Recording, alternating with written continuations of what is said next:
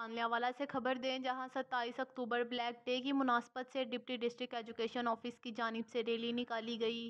Rally में deputy district education officer Rai Ghulam Mohammad इस तलबा ने शिरकत की। तानलियावाला में डिप्टी डिस्ट्रिक्ट एजुकेशन ऑफ़िस की जानब से कश्मीरियों के साथ इजहार यकजहती के लिए रैली निकाली गई।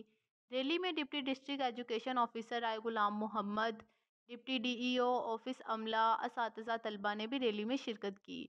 Rally deputy district education office से पुल नहर बगला चौक तक निकाली गई। रैली शुरा ने सत्ताईस अक्टूबर ब्लैक डे के हवाले से और कश्मीरियों के साथ इजहार यकजहती के लिए प्ले कार्ड्स भी उठा रखे थे। रैली शुरा ने कश्मीरियों के साथ इजहार यकजहती के लिए नारेबाजी भी की। डिप्टी डीईओ का कहना था कि सत्ताईस अक्टूबर दुनिया भर के मुसलमान सियाद दिन के तौर पर मनाते हैं। भारत ने कासपाना कब्ज़ा करके कश्मीरियों की आज़ादी छीनी है। अकवा मुतहदा भारत के इस एक्ट पर खामोशी काबिल अफसोस है। कश्मीरियों की आज़ादी तक उनकी आवाज़ बनते रहेंगे।